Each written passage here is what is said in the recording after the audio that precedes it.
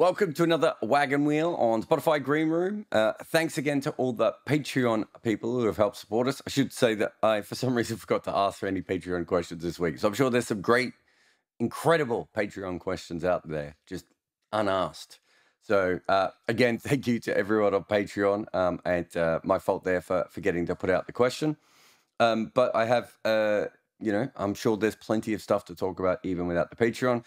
Big thanks to manscaped.com. Um, if you want your balls trimmed in a safer way, you know, without cuts and nicks, so to speak, uh, head over to manscaped.com, uh, buy their lawnmower 4.0, put in Red Inker, uh, name of this podcast, into the uh, into the box, and you will get a uh, 20% discount and free worldwide shipping. Uh, and thanks to Bodyline T-shirts, uh, got rocking a bit of a Curtly T-shirt today. So uh, thank you very much. Um, but with no Patreon questions, let's just get right into the uh, into the green room questions. Let's see who we have first. Googlies, Quarter Seamer, Karen, Dukes, Back of the Hand, Red, Leg Cutters, Tisra, Pink, Knuckle, White, Slider, Seed, Heavy, bounces, Cherry, Length, Pill, Off Cutters, Old, Crimson Traveller, Kookaburra, Hard, Outswing, Second New, Off Spin, Arm, SG, Split Finger, Shiny, Leg Spin, Soft, New, Yorkers, Flippers, Wrong'uns, Long Hops, Reverse Swing, Half Volley, and Third New. These are just some of the names we use for balls in cricket. Well, Manscaped wants you to be as proud of your balls as you are of the ones delivered by your favourite cricketer. Manscaped just launched their fourth generation trimmer, the Lawnmower 4.0. Join over 2 million men worldwide who trust Manscaped with this exclusive offer 20% off and free worldwide shipping. Insert the code REDINKER at manscaped.com. I've actually used this, um, not just something that I'm hawking for fun. And I got to admit, I thought it was a bit silly. And then I went down there and it was exceptional. I honestly feel I could bowl outswing with one nut and inswing with the other. So get 20% off and free worldwide shipping with the code REDINKER at manscaped.com. Manscaped, for the man who cares about his balls as much as the ones out in the middle. Baska, Hey, Jarrod. how you doing? What's your question? Yeah, so Jarrod, I've been uh, following the 100 and uh, now the IPL or the Indian T20 League in uh, UAE. And what I've noticed is that uh, uh, 65 to 70% of the matches are being won by the team cheesing. And that in a way, uh, what uh, is a pattern which has been uh, very evident that, after five or six overs, when the power play is off, the batting team actually kind of slows down. And that comes uh, affect their uh, overall uh, rate in that way. So, if my cou- couple of questions. One question is: Do you think that batting second is a distinct advantage, especially in a shorter form of game, uh, short, shorter form of cricket, obviously hundred and T twenties? And secondly, well, uh, uh, how can batting teams uh, cope with that? Given that uh, there's always the question of what is a par score and uh, overcome this challenge. Yeah, I don't really know. I mean, it's been going on for a long time in, in T20 cricket. Um, I don't know when teams first cottoned on to it, but what are we, 2021? So it must have been around 2015, 2016 when um, when it all started. Uh, and no one's really done anything to, you know, fix it.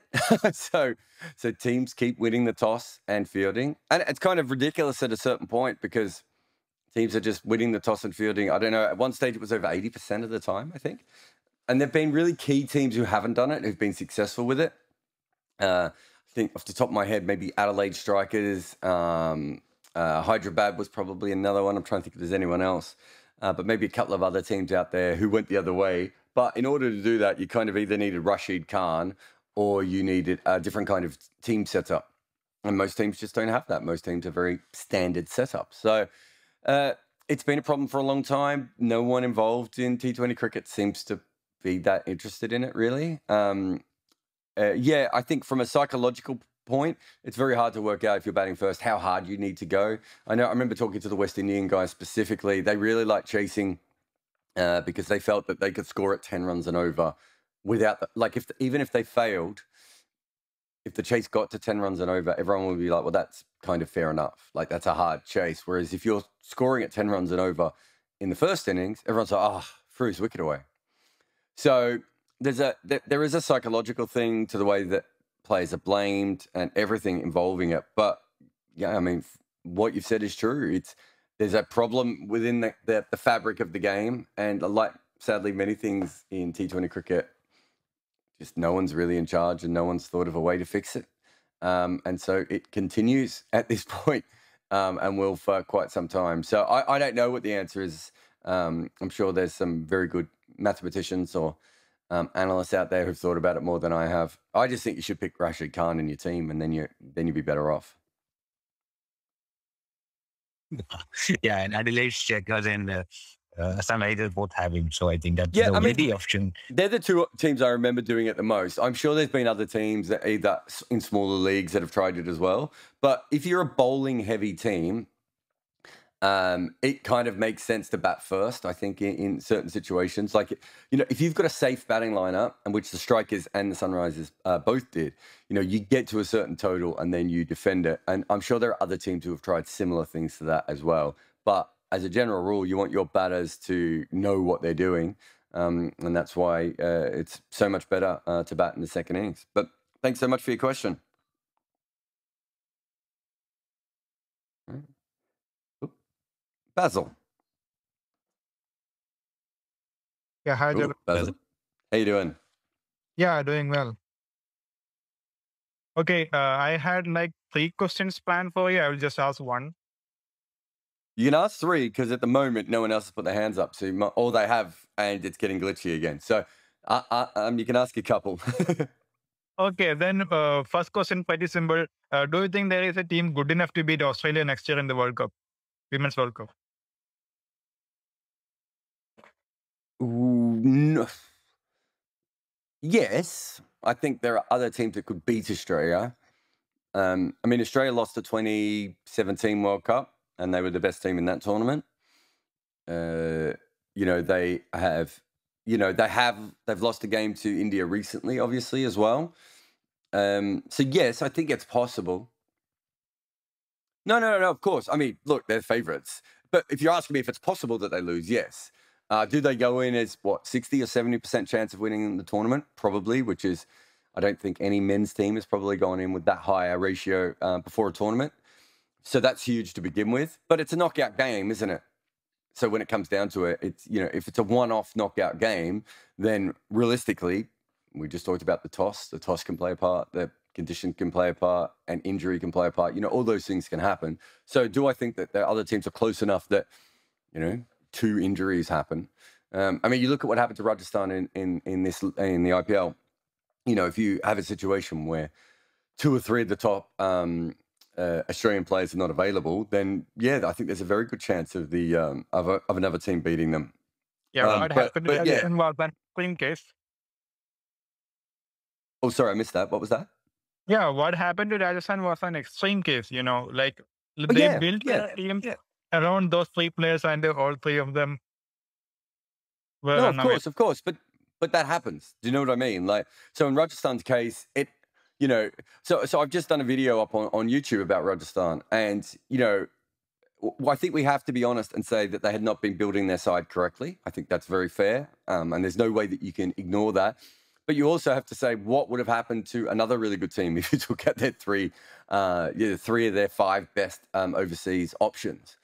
And I don't think anyone would do well there. And I think it's exactly the same with, you know, if uh, 2003 World Cup, um, Gillespie was a good player, but I don't think he was anyone's idea of an ideal ODI player, um, a perfect ODI player. And Shane Warne didn't play. Australia still went on to win that World Cup. But what if it was Shane Warne, Glenn McGrath, and I don't know, Matthew Hayden? Do they still go on to win that World Cup? Uh, I mean, you know, we, we, you know, we we don't know, and I, I suppose things like that can happen in the women's game as well. But I don't know if any team's going to go uh, in in, the T20. I think Australia is probably slightly more susceptible, just because it's harder to keep a really high win percentage up um, in in T20. Whereas in one day cricket, you know, you have the ability, you know, to you know, I think was it England's win percentage was seventy one percent between the two World Cups, um, and went on to win the World Cup. You know, uh, Australia's been even better, the women's team. So, uh, yeah, I think with all that in mind, it's certainly uh, it's certainly unlikely. But yes, I do think there's. Yeah, I don't think that they the injuries won't affect them. I don't think that the you know I think there certain pitches might might trip them up. Uh, you know certain conditions. You know and and Harmanpreet showed in 2017. You know one freak innings uh, can make a huge difference as well. So um, all those things can happen. Uh, I think they're a better team than they were in 2017. I think they learned a lot of very good lessons um, in in that tournament. Uh, I don't think they prepared for it perfectly, and I think they thought that they were just going to turn up and win. Um, I think now they fight a little bit hard for each individual game, um, and, and, so I think they're and I think they're a better team as well. I think their players have developed a lot in that in that four years. So um, no, it's a really good question, Basil. Thank you very much. Yeah, yeah. Oh yeah, sorry. Go slip one more in. Okay. Uh, like, do you think in uh, in the future these T20 mercenary players, especially the ones from uh, West Indies, will employ their own uh, personal analyst to look at their game and uh, uh, also the their the players they play against, things like that. Do you see that happen? Yeah, that already happens. It already happens. Yeah, yeah, I've done it for players before, and not just not just West Indian players, and not just T20 mercenaries, as you put it. Um, yeah, I've done it for. I mean, I've done it for Shan Masood. Um, I've done it for you know many other players have contacted me over the time uh, West Indians, Australians. I'm trying to think anyone else. If I had a South African, maybe not. Um, English, um, Scottish. Uh, you know, players contact me sometimes and, and, and do that. And if they're doing it with me, I don't think I'm the only one. Um, uh, but that's like a like a one of thing, right? Do you do do any of these players employ other players? No, there are players that, that, that, pay people. I, I usually don't take money off the players. Um, I mean, if Chris Gayle or uh, Virat Kohli came to me, I probably would. Um, Shan Masood was kind of me testing to see how it worked with the player individually. Um, you know, I've had I've had IPL players um, get in touch. Uh, realistically, I tell them the same thing. Like, you know, if if if it's not me, if they want an analyst, they need to invest in it. Um, I know of people who've worked, uh, players who have paid analysts uh, before. Um, there are some people who work through agents as well, which I've done as well as an analyst. Uh, you know, an agent might say to you, uh, uh, "This guy's having trouble with this. Can we bring you in?" Um, uh, you know, because obviously it's the agency's job also to get them ticking. So no, it definitely happens. Uh, I'm trying to think of. I don't know of any big name players, but I know of smaller players who've certainly paid for um, information before tournaments with analysts. I know for players who might have had a tricky year coming up, who have um, talked to analysts uh, and you know had given analysts money to be available to them. Uh, you know, you've got you've got batting coaches, um, physios, fitness people, analysts bowling coaches, I suppose, although it's not as common, but there's a few as well. Um, that a lot of players now on the circuit um, kind of pick one or two of those players. Um, mental mental health is the other one as, as well. Um, psychologists and things like that. So you know uh, when Chris Gayle sort of had his renaissance um, in his late thirties. That was based on, I think, two professionals. I think it was two. Um, he got a, a physio, and I, I think this is right, a physio and a fitness advisor that uh, they didn't travel with him all the time, although they did travel on certain occasions, just because they knew exactly what he needed. Um, and he had the money. I think Carlos Brathwaite might have got a fitness or might have been a physio as well um, to travel with them. I don't think you probably need an analyst to travel with you. A lot of players have psychologists um, uh, that they work with, um, like on uh, again. Um, uh, so yeah, it's getting more and more. So yeah, there's certainly um, analysts who've been paid to work with players directly, and uh, we'll probably see more of that going forward. I think I think that's fair. Um, you see that in other sports as well. Okay. Yeah. Okay. Thanks. Yeah. Cheers, man. Uh, oh. Bye. Bye. Yeah. Sorry, I will remove you. There we go. All right. All right. VJ. VJ? Hey, Jarrod. how are you? Very good. What's your question? My question is around strike zone for batters, right? And I'm asking you this because I've been watching a few IPL games where batsmen are standing on off stump before the ball has been bowled, and Bravo would bowl it an inch outside the tram line on the offside. The ball goes over the batsman's bat, and it's called a wide, right? And he's about you know six inches off his next stump guard, and, and that's a wide these days. Um, why is it that bowlers can use the crease when they're bowling from from end to end? But on the batsman side, Mhm. they can use the crease, they can make room on the leg side, they can make room go all the way to the offside. They, they can use the entire width basically from offside to leg side tram lines. And that before the ball's bowled, after the ball's bowled. But the ball itself seems to be only bowled in this diminishing strike zone like baseball, where the batsman can play. And if it's a little bit outside of that, it's a wide. Why can't, do you believe we should go? Well, I think more like bowlers can bowl anywhere between the tram lines because batsmen can move anywhere on these tram lines. And the batsman can then reverse hit it if it's down the leg side. They can cross bat it on the offside. They can play baseball shots around left, right, whatever. Or do you think we limit it like just the way it is right now? And then if it could outside the reach of the bat is a wide, basically, or down the leg side. Yeah, I, I, I think, yeah, I think the fir- the first thing is to say that when batters move outside off stump, quite often the umpires don't give a wide when the ball's just outside the tram lines.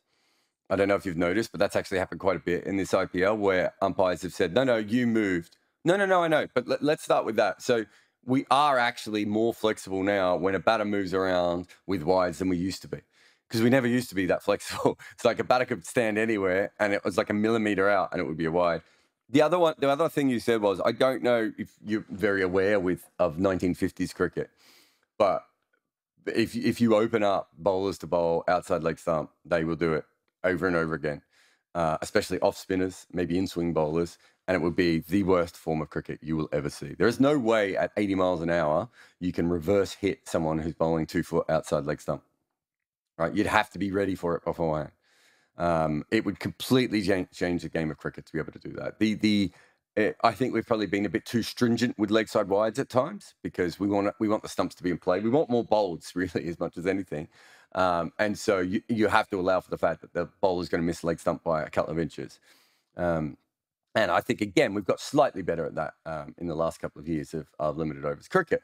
But you can't have a situation where the bowlers can bowl um, on either side of the tram lines because it would change the way that batters are batting. And at 80, 85, 90 miles an hour, there's nothing you can do. Um, and even for off spin, it would just make off spin dire to watch.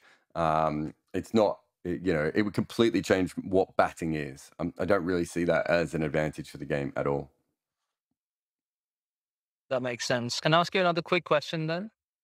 Um, bowlers, bowlers going behind the crease. I'm talking behind the stumps on the bowler's end. I know Bravo does it a, a little bit, um, but I saw uh, Kumar tried in a game, and the umpire basically said, "You have to bowl in front of me. Like I have to be able to see you re- release the ball." Is that something you think is underused these days? And what's the actual law on that? Like, what, what's the limit to where your front foot can be? Can you be like a foot next to the umpire and release the ball? I think you have to be in front of the umpire, but it's also you can move the umpire. So you can actually ask the umpire to stand back. They might not, but you can actually do that. Uh, I don't know what its effectiveness is. I will tell you a very, very funny story from club cricket once, uh, where we played on, uh, on on a ground and the opposition couldn't hit us.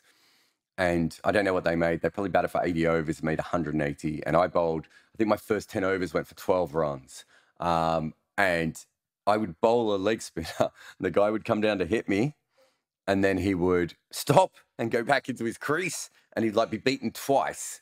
And I was like, like I know I'm not a quick leg spinner, but this seems ridiculous. And they couldn't hit me. No one could get down to the pitch. We had an off spinner at the other end. Exactly the same um, thing was happening, but even our medium paces and everything.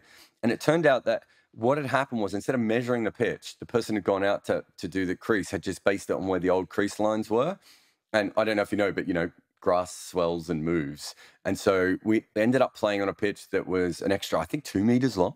It might have even been longer than that. It might have even been three meters long and um, no one could get their timing, and that's and that's all it was. So based on that, I have always thought that the Kieron Pollard. I'm trying to think of some other bowlers who've done it as well, but Pollard's kind of the king. Pranal of this. Pandya does it. All the Mumbai boys do it a bit. Yeah, and, and then that's I think that's just uh, uh, Pollard uh, doing it, but there's some there was someone before Pollard who did it as well.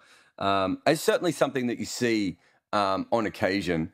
Uh, I would think it would mess with your timing, right? And I think we talk about we talk about the back of the hand slow balls, and um, back of the hand slow balls are the most sort of misdiagnosed cricket balls ever. People will talk about whether you can pick them or not.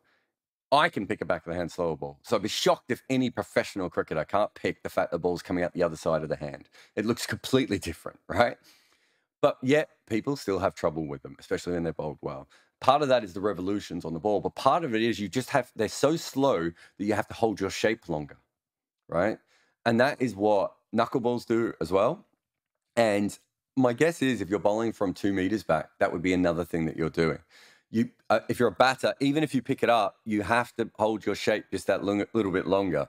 So I would think that it would work more as a tactic, um, but I, I, suppose until we analyze it better, where bowlers are actually releasing the ball from, like we've only just got to the point where we work out that Jasprit Bumrah is bowling 50 centimeters closer than a standard bowler. Right. And that is a huge advantage for him because he has this incredible release point that's so far forward. So the fact that we've only just got there, I don't even know if uh, Hawkeye data tells us perfectly where the ball is being released from back um, in those situations. But yeah, it's it's something I've talked about with a couple of bowlers before. A lot of them just don't feel comfortable because I don't I, don't know if you've ever tried it. It's kind of like as you're running up to the crease, your body sort of takes over and takes you where you want, and so the actual going going wide of the crease or going close to the stumps is a kind of an easy thing to do.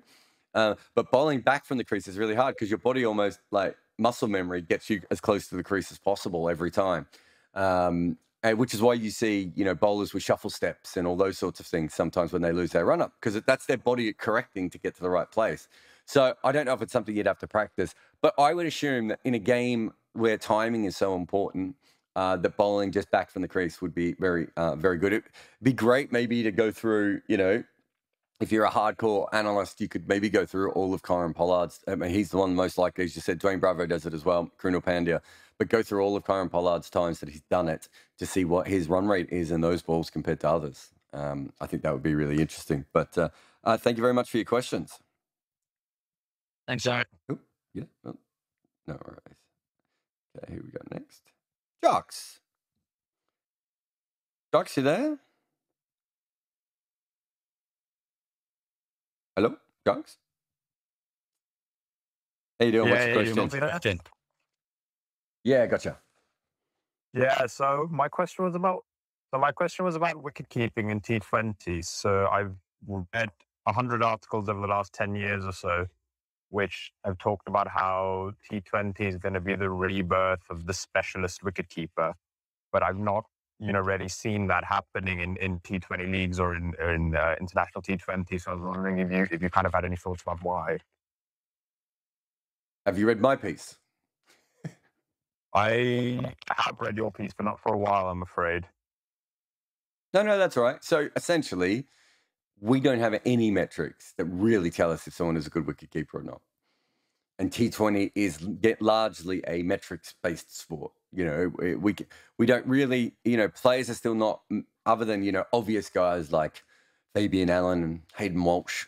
Players are still not really picked on their fielding, right? Even though we know that there are plus fielders and there are negative fielders and there are par fielders. So wicket keeping is in a similar basket to that. How can you tell me that someone is good? Uh, you know, I remember a situation a few years ago with with a cricket team, and they were playing in Asia. Yeah, they must have been playing in Asia. And they had to pick between two different wicket keepers. They knew one was a slightly better batter, and they knew one was a slightly better wicket keeper. They were playing in Asia. They thought the ball was going to spin a lot. They had a couple of uh, spinners that they really liked. And so they went with their specialist wicket keeper.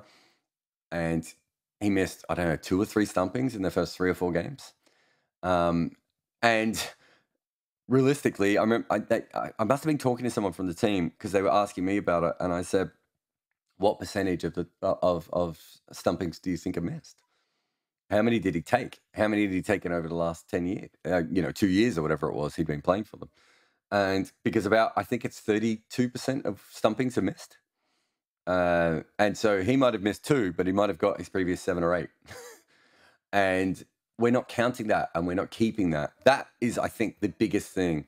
Uh, I I think I worked this out for someone I worked for that wicket keepers touch the ball about between well it depends on on the on the kind of um, wicket, but I, touch the ball between fifteen and twenty two times uh, when a bowler bowls to them.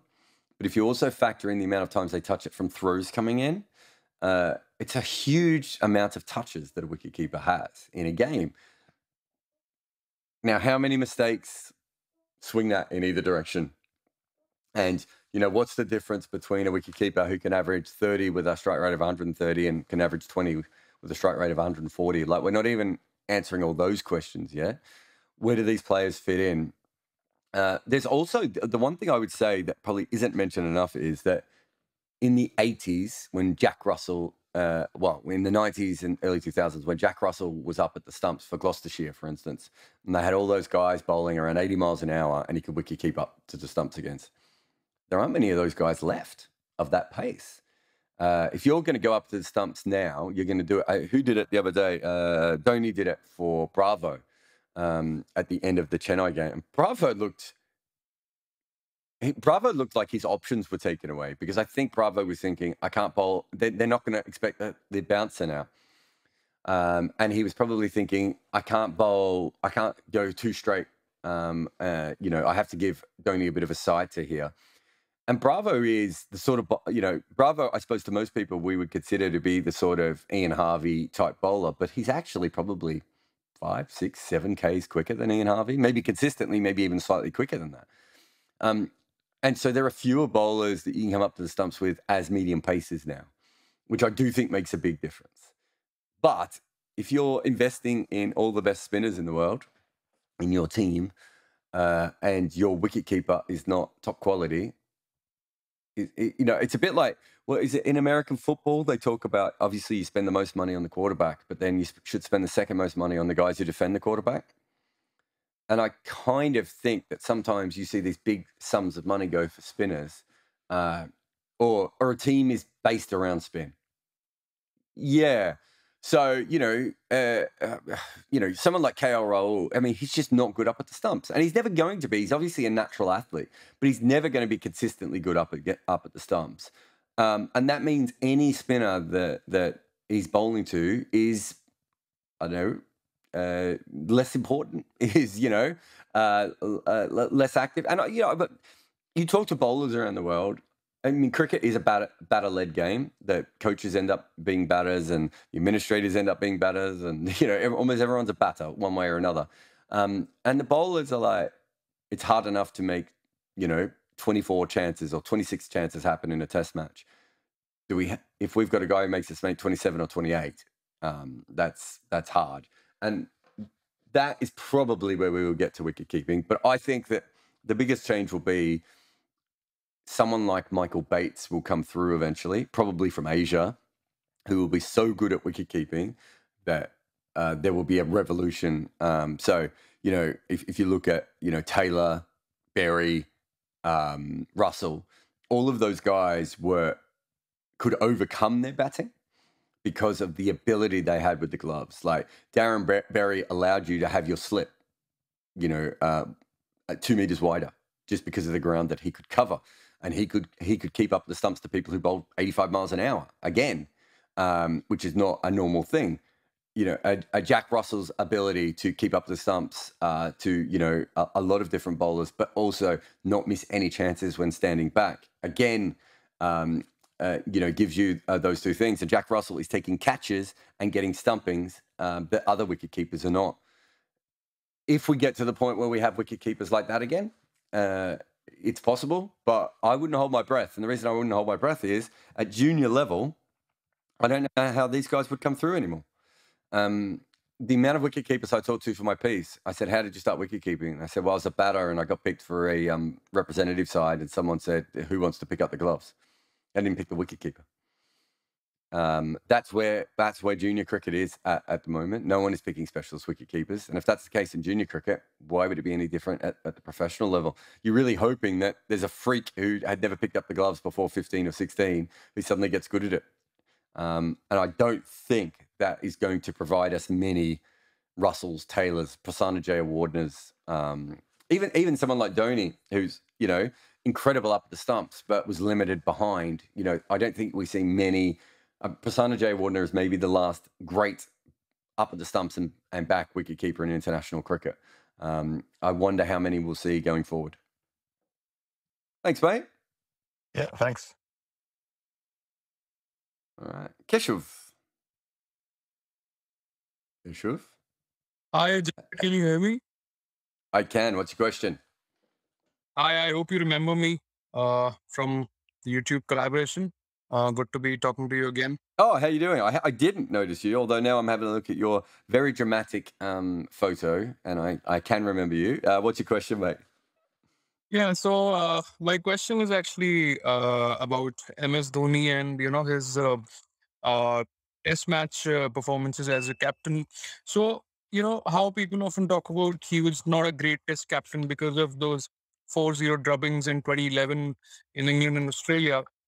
And at the same time, people rave about you know Virat Kohli winning in those countries, but you know uh, also won in New Zealand and drew a series in South Africa, which Virat hasn't really been able to do in those countries. So, is it more rewarding to win in England and Australia as test captains, or you know, uh, I mean, uh, I just wanted to ask you what what's your thoughts on Dhoni's test captaincy and why people not talk more about you know his wins in uh, New Zealand or maybe a draw series in South Africa. I think it's important to note, though, that it, a lot of it is to do with the 4 0. Those are long, drawn out big series, right? So everyone is going to notice the droppings uh, in a way that doesn't happen in, you know, a, a, normal shorter series against. If you lose a series against South Africa or New Zealand, uh, it's not as high profile around the world and they're shorter. Probably going to be three test series more often, aren't they? Maybe even a two test series. Those things actually matter. Um, the other thing is, and you know, I've written this big piece about Eoin Morgan recently. I did a video on it on YouTube as well. I think um, uh, if you win, you're a good captain, and if you lose, you're not. That's how people look at this. It's a nonsensical way of doing it. If Virat Kohli had MS Dhoni's team and MS Dhoni had Virat Kohli's team, then I think you know both of them would have different records. I think that's a very fair thing to say. I, I do think there were parts of I think there were parts of MS Dhoni's test career where his pragmatism didn't help him. I remember, I mean, I covered both of the, the Australia and the England series. He basically spent eight tests moaning that they didn't have a international seam bowling all rounder. It's like, yeah, get in the queue, mate. Australia haven't had one for 45 years. Um, you know, it's, you know, outside of New Zealand and, and South Africa and now England, it's not exactly like it's a common thing to get someone like that. Like India did well to have Kapil Dev. Um, Pakistan did incredible to have Imran Khan, but it's not a normal thing to find those players. There's only like a handful of them through the history of cricket. Uh, and he kept moaning about it. And I kept thinking, that's just such, such a stupid thing to even be focusing on. but he was seeing that as I think the difference between those those teams, and then you know in Australia, obviously, uh, uh, it was uh, still moaning about it because that's what he wanted. He wanted that extra uh, um, option. Um, uh, I don't think he was a bad test captain. Uh, he has a different record to Virat Kohli because he has a different team to Virat Kohli. Um, I don't think, you know, most of the stuff that is said about captaincy is utter nonsense. Um, but I do think there were times where I think Dhoni preferred the formu- formulaic version of cricket because he, he's well, he's a video game player. I've said this before, like, you know, he's a video game player and he understands patterns and rhythms, and Test cricket quite often goes beyond that. Um, it's, you know, it's kind of endless at a certain point. And, and I think that that bothered him a little bit. Did you did you ever think or get the impression that he was not as interested in the longer format as he was involved in the white ball formats? No, I don't think. I don't think. Inter- I mean, he he generally looks disinterested in all formats of cricket, doesn't he? I mean, he's. when have you ever looked at him and go, "That's uh, you know, look at Glenn Phillips on a cricket field and look at MS Dhoni, who looks like he wants to play every single ball of cricket, and who looks like he'd rather be off playing World of Warcraft." Um, that's not the game that Dhoni plays, is it? It's the other one, but whatever, whatever game it is he plays. Um, so, yeah, I mean, disinterest is a you know a thing. there's a lot of amateur experts out there. Do you remember Sarfaraz? Um, uh, um, it was uh, uh, God. Why have I forgotten his name? They're, they're um, bloody uh, Pakistani captain. Is it Sarfaraz Ahmed? Is that who I mean? Yeah, yeah. God, he, he's he's fallen off my memory bank. Um, remember he yawned once on a field in the World Cup, and literally it was front page news in Pakistan, and it's just like, like we, you know, people try and read, you know, uh, I remember Stuart MacGill was the angriest person I've ever seen when he'd taken a wicket. Um, and that's such an odd thing. And, uh, you know, whereas other players are joyful and they get looked at differently. I wouldn't worry too much about that. I, I would say that there were parts of Test cricket that frustrated MS Dhoni because he couldn't control them. He can control a lot in one day cricket and especially in T20 cricket. And in Test cricket, it doesn't quite work that way. And I always thought he was at his best when he could control it with a, with a really clever field or, you know, um, an interesting tactic from a bowler I always felt that those were the bits he liked, but a lot of Test cricket is kind of beyond your control. Like I talk about this a lot, but essentially in Test cricket, most of the time when you're making bowling changes, it's because someone's tired, right? It's a normal rotation. There's a flexibility within, especially T20 cricket. It's like so one day cricket, and especially T20 cricket, is guys don't get tired. So if you want to use a guy for four straight overs, you kind of can. Um, and if you want to um, mix and match and, and, do all these different things, you can't really do that in Test cricket because you know Shami's just bowled a seven over spell. You, it's hard to bring him back in half an hour's time to get him to bowl another six over spell, just because there's a physical limitation on what he can do. Um, and I think those sorts of things probably frustrated someone like MS Dhoni, who who likes to play cricket a little bit more like you know a, a video game or a chess player and that's harder to do in Test cricket at times, just because of the natural flow of the game. Even, even simple things like you know, it's easy to be MS Dhoni in the morning session when the ball's doing a little bit. It's harder to be MS Dhoni probably in the afternoon session when uh, he's tried drying them up in the first hour and that hasn't worked. Um, and he's sort of run out of options and he's run out of bowlers. Uh, I think that's a normal thing. But yeah, most of the things that are said about captaincy are just are wrong to begin with. Um, Do you think uh, the way a captain presents himself, uh, you know, like how Virat has been so vocal about Test cricket and uh, he's kind of the flag bearer, and you know, so uh, does that also help uh, in, in creating an image in people's mind that okay, this is the better Test captain? Because you know, technically, Virat won a series in Australia uh, when Smith and Warner were not there. The other series we won under Rahane, and the England series is still not completed technically. So I mean, he has not won in South Africa, New Zealand as well. I'm, I'm not. I, I don't. I mean, MS Dhoni isn't exactly pimping T20 cricket either. He doesn't talk. Yeah. Right. So does you know? But Chennai win a lot, and so and India won a tournament under him, so it doesn't matter, right? Um, it, it, Virat Kohli is a bigger superstar than MS Dhoni. Uh, he's more available. He's more social media savvy. Uh, he's busier. He does more things. He's in more ads. You know, all those sorts of things. Um, you know, I can't imagine MS Dhoni in the in the height of his prime allowing you know an American writer to follow him around for a couple of days like Wright Thompson did with Virat Kohli. But Virat Kohli's like, oh, I might have the cover of an ESPN magazine in America. Then I'll do that. I just don't think MS Dhoni ever worked in that particular way. Um, there's a different fandom around both of them as well. So look, they're all fair. They're all fair points that you make. But realistically, everything that you have said would mean absolute jack shit if MS Dhoni had won the the two biggest series. That's what it comes down to. That's what people remember you for. And and what you said is completely true. And what you said is completely true that Rahane was involved with one and the other one isn't completely finished. But if MS Dhoni had won those two biggest series, he would have completely and still beaten South Africa and New Zealand. Um, he would have been an absolute god, um, and he would have been un, un, un, infallible. And anything Virat would have done would have paled in to comparison. But there's no doubt that this team is better now under Virat Kohli than it is than it was under MS Dhoni. That might have nothing to do with captaincy, but it's a better team. I mean, MS Dhoni would have loved to have played with this team. He would have, you know, this would him him going into a test match with five bowlers to begin with uh, was what he was desperate to do, and he tried to gerrymander as much as possible, and it didn't work for him. Now Jadeja has stepped up and become the player that that Dhoni wanted him to be. Um, which gives Virat Kohli even more flexibility when it comes to selecting the team. Plus, the fast bowlers are better right? I mean, MS Dhoni had to pull Ishant Sharma limping and screaming, um, and Virat Kohli got Ishant Sharma the world's best bowler. So, uh, anyway, thank you very much for your questions, mate. Have a good one. All right. Atish. Atish, you're on the air. Atish, you almost on the air, and now you've muted yourself. I can. What's your question? Oh, uh, hi.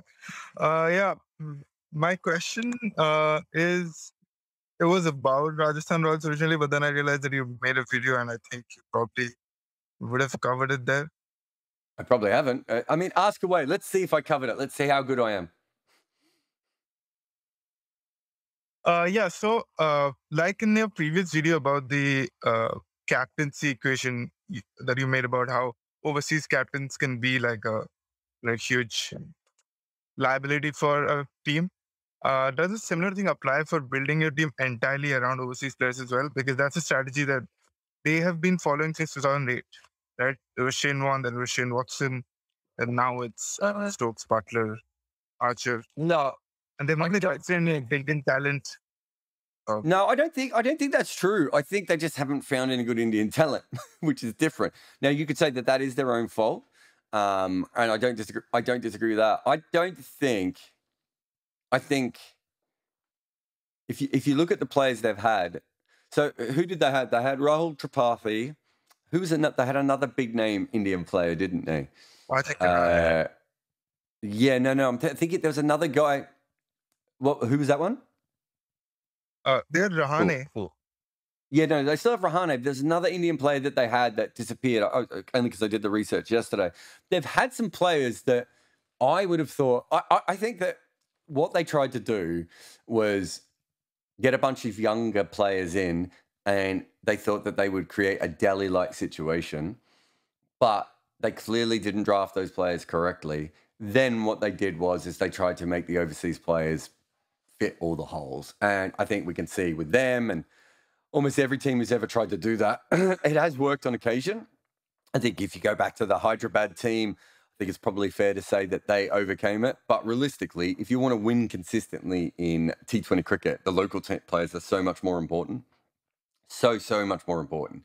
When uh when I was with St. Lucia, that was that was my whole thing at the end was basically trying to make it so that um that we had a core of what I thought were the best four to six younger players and Kieron Pollard, and then we're going to build around that.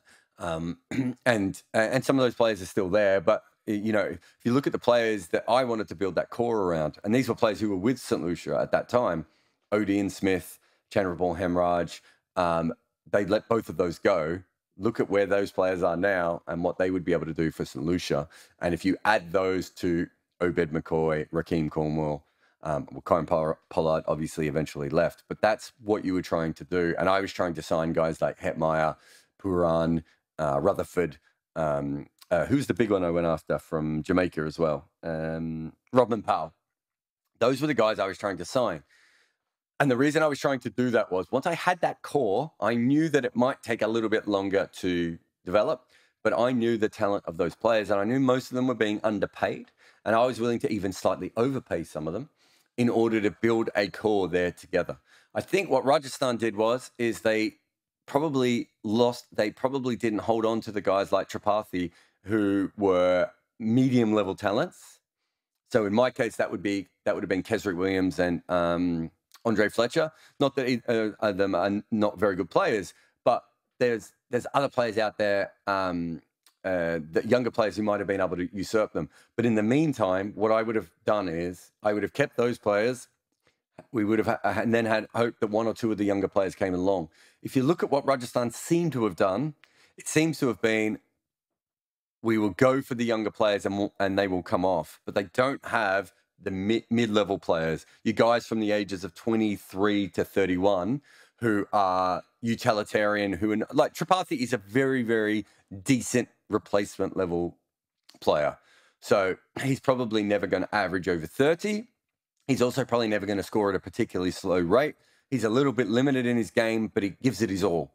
And and I think that what Rajasthan never did was match up those players with the younger players. And then the younger players weren't as good as they thought they were going to be. Uh, you know, Shivam Dube and uh, Rian Parag. Um, I'm sure you've got about 10 other names that you can probably add. Um, uh, who I think is a fantastic red ball bowler, but he hasn't come along in white ball cricket and he's very limited. And it means that you have to, if you if he's going to be one of your bowlers, you have to build around him. Um, and so I think that's where the problem of Rajasthan is, is that they they didn't keep enough of the mid level talents around, and they went for youth, youth, youth, and none of the youth came off. Does that make sense? Yeah, yeah. So in a way, they're like the Arsenal of IPL. You know, like a lot of young players. I- I- I cannot help you with that reference. Look, the, the thing is, the thing is also that Delhi have done incredibly well to develop a team, which they may not be able to keep together because of the mega auction, right? And that's also why, and that was the, that was our trouble with St. Lucia as well. I remember, uh, you know, talking to people at St. Lucia and going, I don't want to let Chandrapaul Hemraj go, and they're like, you can't retain a player of his level because everyone in the in the uh, all the senior players in the league will look at you silly that you retained a player who hasn't broken through yet. And and that's right. And if you want to look at that, Bangalore did that with um, Sarfaraz Khan, right? They retained a player who hadn't really broken through yet, and it annoyed some senior players. Um, and and you know ended up being probably the worst possible thing that had happened uh, for that franchise. And they you know, until this year they hadn't really recovered from that one sort of major mistake that they made. And that's a big problem, I think, with the league. I think that if you're developing under 23 players, you should have extra right to match cards available at mega auctions for those players because that's what we want to see. We want to see like a Denver Nuggets sort of um, uh, thing in the NBA where you know they've p- taken a punt on a bunch of younger players in one generation that will come through. Uh, the way that you see it sometimes in international cricket, um, the, say, the way you see it sometimes in county cricket, and at the moment the the, the, the T20 um, structure, and it's not just the IPL, it's unfortunately right across the league, doesn't really allow for that, and so it's really hard to work out how these teams rebuild if they're bad. Do you know what I mean? Like Mumbai's only ever going to be so bad because of the core, right? But if you don't have that core, like Rajasthan, or you know, or your core, you know, rots like Hyderabad, you, it's very hard in one one auction cycle to be able to grow that perfectly unless your all your auction picks work out. And auction picks don't work out. We can't tell the future. We don't know how these players are going to develop. We don't know how someone with good SMAT scores are going to, you know, translate to the higher levels. So it's really, really tough. Um, but thank you so much for your question, Atish. It's All right, who we got next? Kyle. Oh, Kyle. You're on the air, Kyle. You hear me? Yep. Uh, so it's another IPL question. Uh, again, talking about it. Uh, a lot of the times, your analysis comes down to it's such a short season and it limits sample size. Do you think that I would think the ideal season length would be like with 14 teams, 26 games, um, enforcing, you know, uh, more rotation and you know, get peak teams playing two days uh, every two days instead of every three days do you think that could fit into the current schedule? And how do you think like an increased number of games would affect uh, T20 analysis and strategy going forward? Yeah, it would have a huge boom. Um, you know, I think the IPL will be the first league to do it. Um, I think 26 games is fine. I, you know, anything around 30 is just a huge leap forward for this sport. Realistically, uh, the amount of information that we'll be able to get, be really interesting to see what teams like England and Australia do with their leagues going forward um, because they're trying to use it to make money, but the, and they don't want they don't want the SAG. They don't want the you know the IPL already has a SAG and the NBA has a SAG and MLB has a SAG, but they're much bigger competitions. But when the Big Bash made it a bigger tournament, that was a bit of a problem. But also, you know, we're playing one game a night at the moment, Carl right, on TV. Do you think uh, two games is that? What I mean, that's kind of what you would do, isn't it? If you or I were running this, wouldn't we? I mean, um, I think two games a day, um, whether they're both, you know, and you have head to header, and you have Mumbai playing um, Punjab on one channel, and you have RCB playing Delhi on another. Um, you know, and then you can pick which game you want. Uh, you might even, I, I don't know, but it's even a possibility, isn't there? If you got Mumbai playing one game and you've got Kolkata playing in the other game of getting even higher ratings, don't you? Um, you know, it wouldn't always be the case. Uh, uh, so yeah, no, I definitely think uh, going forward uh, that would be the case. I think what happened was that the Big Bash and the IPL sort of had this one every game's an event thing, uh, which is fine, but uh, we have to sort of move beyond that a little bit. it has to be a proper league and you know, there should be multiple games played. You know, what is there? Sometimes eight, nine, ten NBA games are played on the one night. You know, football has a similar thing. Um, that's probably where cricket has to get to.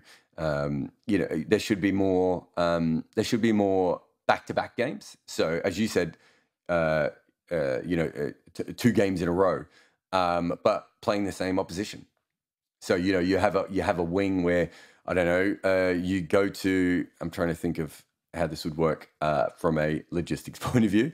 Uh, you go to what Mumbai for two games, and what when Pune was around, you would have played Pune for two games. Um, I'm trying to think of what the of what the uh, uh, ge- geography of it of it is, but you know what I mean. Like, you know, you do maybe Hyderabad and Delhi uh, in, in in in a, in a thing, and that's how um, American sports teams do it, as you know, um, and it makes a lot more sense we could fit more games in. We'd have a lot more information. I think it would help the sport. It wouldn't make the tournament that much longer because at the moment, part of the, as you said, part of the reason the tournament is so is is that the length it is is because we're not really maximizing how often players can play. Well, I, I did the math. You know, teams play about every three, three and a half days. You can get that down to every two games. Teams would have to rotate more. Yeah, fast bowlers. Yeah, no doubt. Fast bowlers would rotate more. Uh, we'd go to a platoon type situation, like baseball would be my guess, um, uh, which which is fine, uh, which is kind of what we have to, we should be doing anyway because we're playing so many uh, different players. But yeah, I, I don't I don't see any reason why we can't do that. Um, there would be more rest and rotation um, uh, involved in that, but also to be fair, Carl, once we get to like 14 teams, we could also have a slightly longer season. It doesn't have to be as short as it as it currently is. Um, so there are other ways of doing that. But yeah, I think um, these, I say it all the time, and people involved in these leagues sometimes get upset, but they're pop up leagues, right? It's not a real league. It's like an event that happens and then it disappears. And we want it to be a proper league. We want it to be played properly. Um, uh, otherwise, it will never it will never be able to grow. If we keep treating every game like it's so super special, that's not it's not fucking super special when Chennai play Punjab on a Tuesday night. That's not special, Kyle. You and I know that. There are games that are special and there are games that are not special. And I may not want to watch Chennai, you know, Punjab. I might want to watch RR Mumbai. And um, uh, and I don't have the, that, you know, uh, available to me. So I, I think that's where we're limiting ourselves. This is where the cricket side of things sometimes it's just like sometimes we just have to go. If this is a proper sport and we believe it's a proper sport, and geez, if the IPL itself hasn't proved that at this stage, I don't know what will. Then it has to be run like a proper sport, and at the moment, it's still not. It's run like a well, I mean, the Big Bash was very honest to me when I talked to the guy who ran the Big Bash, Anthony Everard, and he said, "Oh, we run it more like a pop concert than we do a um, cricket tournament, which is, you know, Adelaide have a few games in a row, and the and the the the the crew all travel there, and then the crew all travel here, and then the crew all. Tra- uh, that's not that's not where we need to be. I don't think really as as a sport. Um, and it probably worked for the first part of uh, T20 cricket, but it's kind of a bit silly going forward.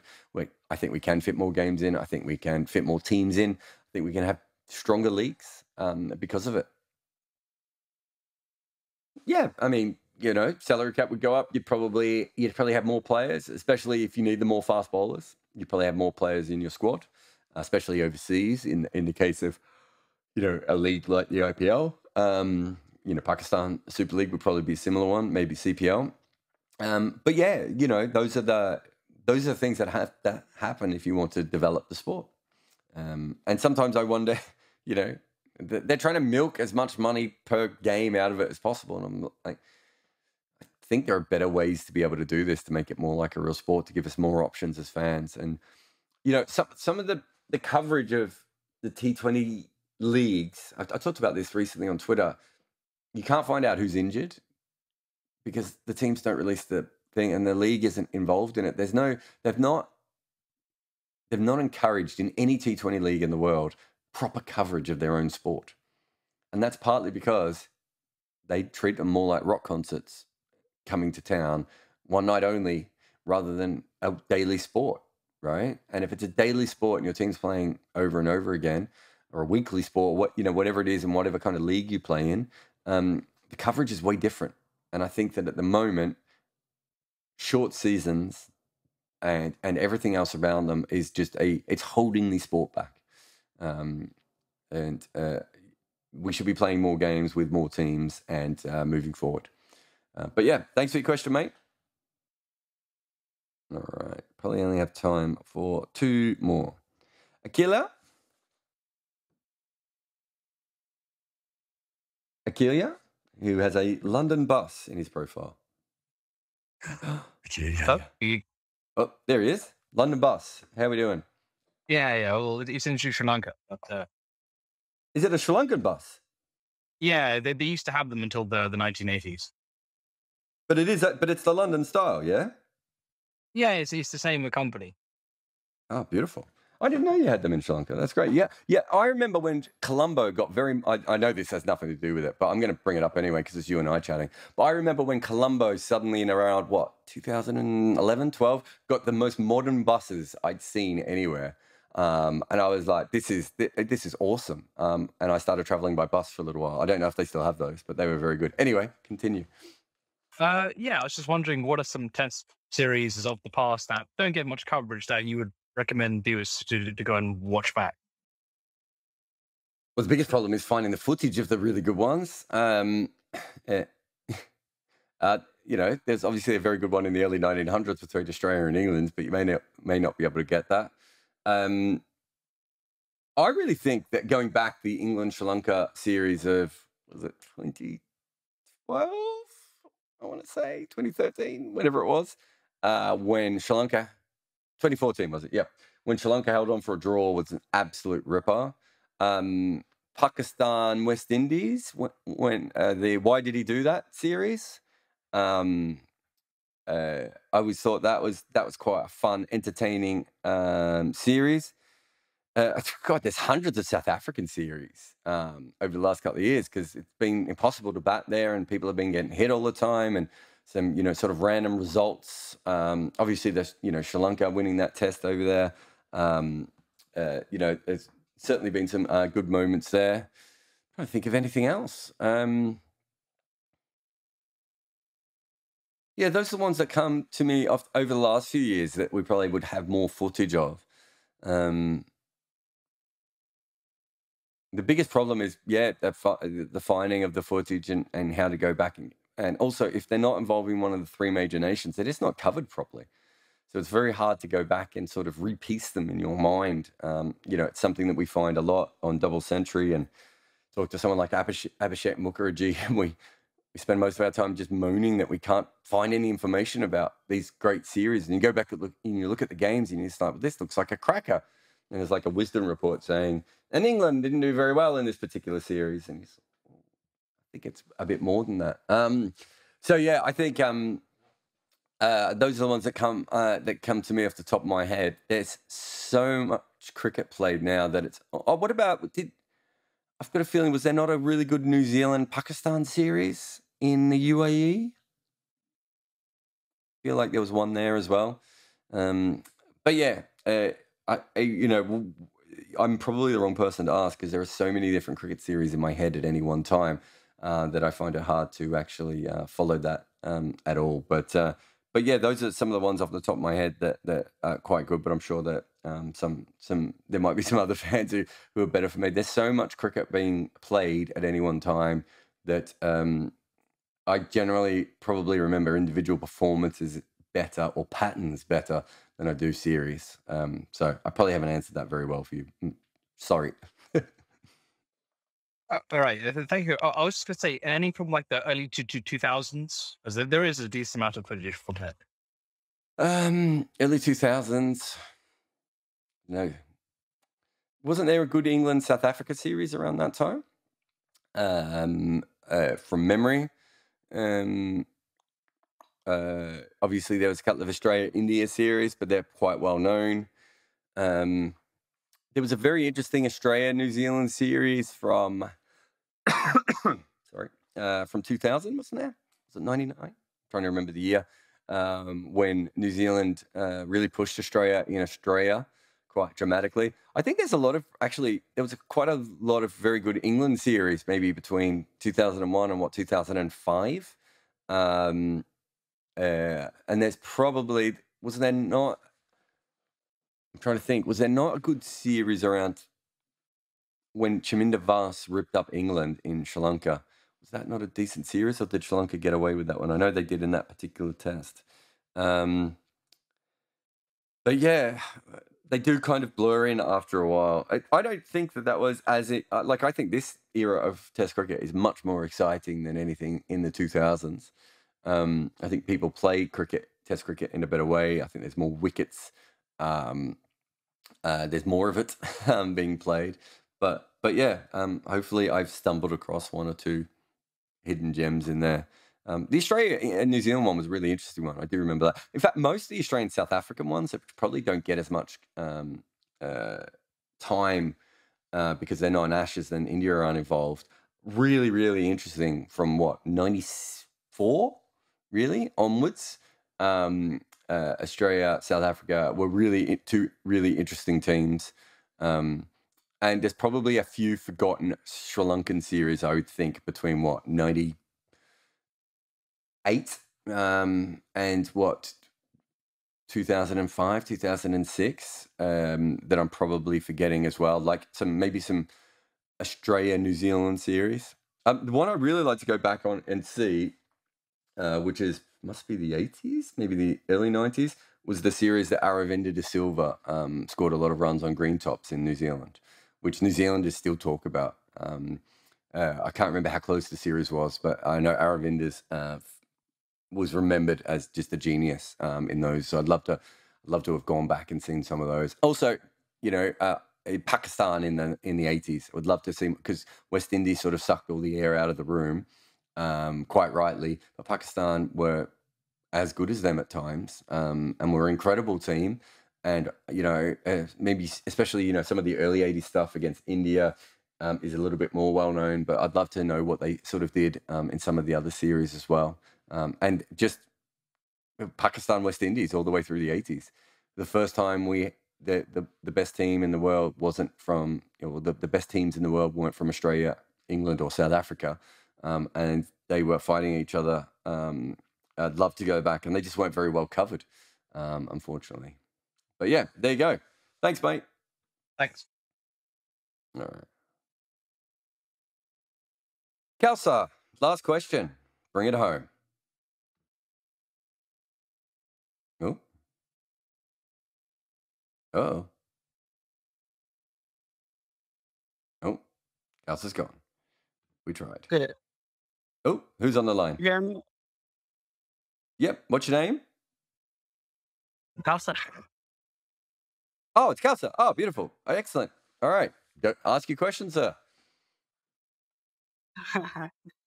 uh, my question is towards you that uh, do you see Mushfiq and Shakib really good as a pair in T20 cricket? I have uh, uh, seen the performance, their performance uh, when they play uh, in a team in T20 cricket. You know, Mushfiq has got five international T20 50 and maybe average uh, maybe average 30 and uh, strike rate of 135 when he plays uh, without Shakib in the team. Shakib doesn't play if Shakib is not playing for Bangla. But whenever Mushfiq uh, playing when Shakib is in the team, his average is low, you know, drags down to 10 and maybe his strike rate comes down for uh, 100, uh, you know, less than 100. And Did he change? Yes, Mushfiq is always Yeah, uh, sorry, just let me uh, butt in. Sorry, mate, Kelsar, but does he change where he bats in the order when when Shakib's playing?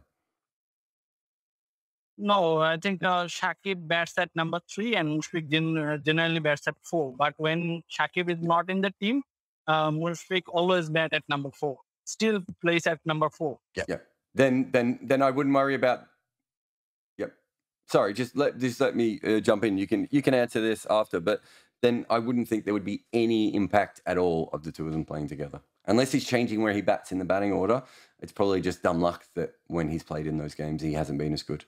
I can't imagine there would be anything at all that would would be you know that would uh, would change him, unless you know unless literally Shakib is running him out. That would be the only difference. Shakib is not running him out, but it is uh, not for Shakib. You know, Mushfiq, Mushfiq plays in the team, you know, Shakib is still getting runs. Whenever Shakib is in the team, or maybe Shakib is getting out inside of 10 runs, Mushfiq is getting scores, and he both of them can't really score uh, at a time. Most of the time, Shakib can score, but Mushfiq can. But Mushfiq always can perform whenever Shakib is know, not playing at the or maybe getting out inside, you know, ten runs. But that's it's just not. No, it's it's it's just dumb luck, mate. There's there's no there's no pattern in in what you're looking at there, right? Because if if there was a pattern, it would if if they literally changed his role in the team and he started batting in a different position, that would be that would be a pattern. Um, you know, it's just that it, how, how many T20 games has he, have these guys played together? Now maybe 90 matches and without Yeah, maybe 15 matches. I am approximately maybe 70 or and without Shakib Mushfiq had played maybe 15 or 20 and in those 15 or 20 he has got excellent back. That's the that's the approach. Okay. Well, I mean, I I'd be absolutely shocked. Let's have a look. Mushfiq Rahim has played 91 matches. He's got an average of 19.7 and a strike rate of 115 in, in T20 internationals. Yeah, that's who we're talking about. Yeah. Yeah. I mean, that's a, that's already a poor record, no matter who he plays with, right? Um, uh, his record really looks great, excellent when he when, when Shakib is not playing uh, or Shakib is getting out inside 10 or you know 10 or 12 runs. But why would that make any difference? Is my question to you. Like, let's say let's say you're right and you've noticed this pattern, right? And I I would have to go through the numbers to work it out. Why on earth would that make any difference to him? He's still facing the same bowlers. They're still bowling the same deliveries, right? What has changed? The person at the other end, unless Shakib's actually shooting, you know, um, a, a BB gun at his eyes, right? What on earth could Shakib do that would put him off?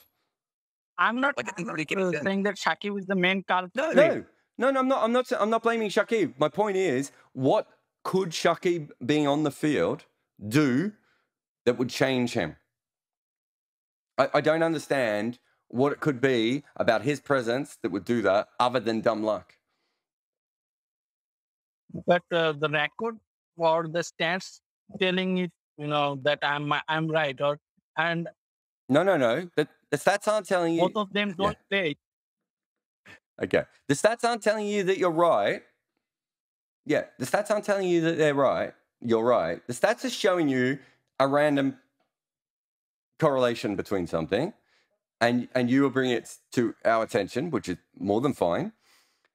But it might also mean nothing. Those same stats, right? Because you would have to first come to the conclusion that those two batting together is bad for that to mean anything right? And that I can't think of any particular reason why those two batting together would be bad, right? Now, if you come up with one, maybe it's some random thing about matchups or, um, you know, um, I was what else, talking what else it could be. matchups. Yeah. So, so what kind of bowler is um, uh, um, Mushfiqur bad against that Shakib is also bad against, and so teams are bowling the same kind of bowler twice to them?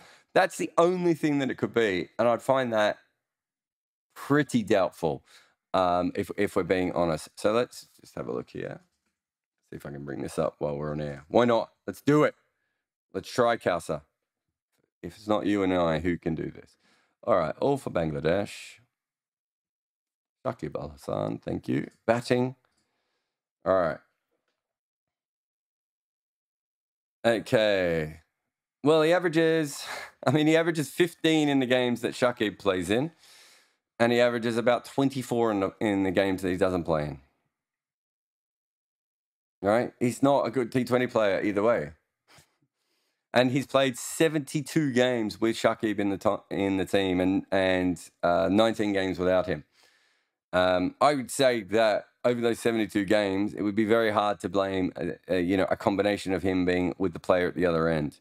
Um, and and you said before that when Shakib is going to go out early in a lot of those games as well. It's not like they're always going to be batting together. Um, so I think that deep down, he's not a very good T20 player. I think that's maybe the most you know, the most obvious thing about his career. I'd be shocked if there's a big impact on Shakib because I just don't think they would have had that many partnerships in those 71 games. Most of those times he would have failed, he would have failed because he failed. Um, and yeah. The interesting part is both of them really is a good partner are good partners in ODI cricket and Test cricket. Why aren't they good in T20 Are they playing in the same role? No, it's a different sport to begin with, a different form of the sport. But also, Mushfiqur isn't as good a player in this format. Right? So in Test cricket, he averages 37. In ODI cricket, he averages 37. And in international T20s, of which he's played almost 100, he averages 19. He's not good at it because he doesn't have a fifth gear to be able to score at the rate. So when he tries to score quickly, he goes out. And when he doesn't try and score quickly, he scores really slow. He's got a career strike rate of 115. This isn't a Shakib issue. This is a him issue. There's something wrong with his T20 batting. He doesn't, you know, even if you look at him domestically, um, uh, he's averaging 29 with a strike rate of 126. He's not an above average domestic T20 player, let alone an international T20 player. So um, that's what the problem is here. Anyway, thank you very much for that question. And thank you to everyone. Uh, remember, oops, sorry, cut him off. Um, thanks everyone who asked questions again on Spotify Greenroom. Remember, you can follow me. I'm at Jarrod Kimber. Come to Spotify Greenroom. We usually put these up. Uh, we usually say that we're doing them on Instagram and on Twitter, um, but there's sometime on Fridays between 9:30 British Standard Time and 12:30 British Standard Time, usually, or 1:30 British Standard Time. Um, uh, thank you again to Manscaped, who will help you shave your balls safely. I cannot be any clearer on that. Lawnmower 4.0. Uh, use the code REDINKER at manscaped.com for a 20% discount, free worldwide shipping. Uh, thanks again to Bodyline t shirts, and thanks to everyone on Patreon. I mean, this podcast really only exists because of the support that we get on Patreon. Um, and usually I remember to read the Patreon questions out, but or ask for them. In this case, I didn't. So sorry again to everyone on Patreon. But thank you for your support. Um, on Patreon, you can get all sorts of things. You get uh, private AMAs. Uh, we do. I do video chats with some people on some of the benefits. Uh, you get ad-free podcasts and and all sorts of other things. Uh, thank you to everyone um, for coming and tuning in. A really good show, and I'll talk to you again sometime soon.